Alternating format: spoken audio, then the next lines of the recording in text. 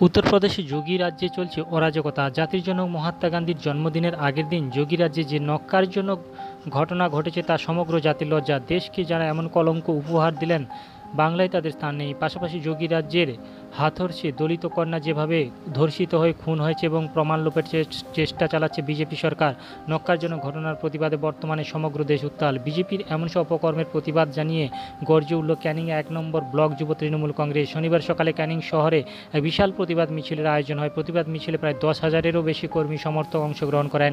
বিশেষ করে এই প্রতিবাদ মিছিলে সিংহভাগী মহিলারা উপস্থিত ছিলেন। মিছিলের শেষে ক্যানিং বাসস্ট্যান্ড এলাকায় একটি ধিক্ষার পথসভা অনুষ্ঠিত হয়। পরে উত্তরপ্রদেশের মুখ্যমন্ত্রী যোগী আদিত্যনাথের কুশপুতুলা আগুন দিয়ে পোড়ানো হয়। এদিন প্রতিবাদ মিছিল পথসভা উপস্থিত ছিলেন দক্ষিণ চব্বিশ পরগনা জেলা তৃণমূল কংগ্রেসের কোঅর্ডিনেটর পরেশরাম দাস, জেলা পরিষদের সদস্য তপন সাহা, পঞ্চায়েত প্রধান উত্তম দাস, হরেন ঘোড়ই, শুভেন্দু মণ্ডল সহ অন্যান্যরা।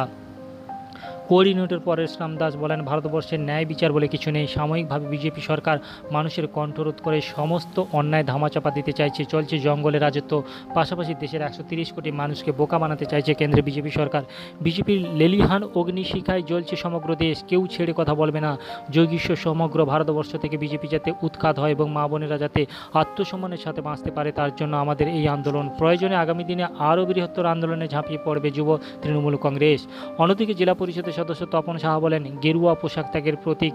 সেই গরুয়া পোশাক পরে যোগী আদিত্যনাথ এসিতে থাকছেন আর সাধারণ মানুষ জ্বলে পুড়ে খাগ হয়ে যাচ্ছে। তারাই তাঁরই রাজ্যে। তারপর গেরুয়া পোশাকধারী যে ভণ্ড সন্ন্যাসীর রাজত্বে মা বোনেদের কোনো নিরাপত্তা নেই, ধর্ষিতা হচ্ছেন মায়েরা। দেশ তথা জাতির কলঙ্ক গেরুয়াধারী এই বিজেপি দল। সেই ভণ্ড গেরুয়া পোশাকধারীদের অবিলম্বে কঠোর শাস্তি চাই।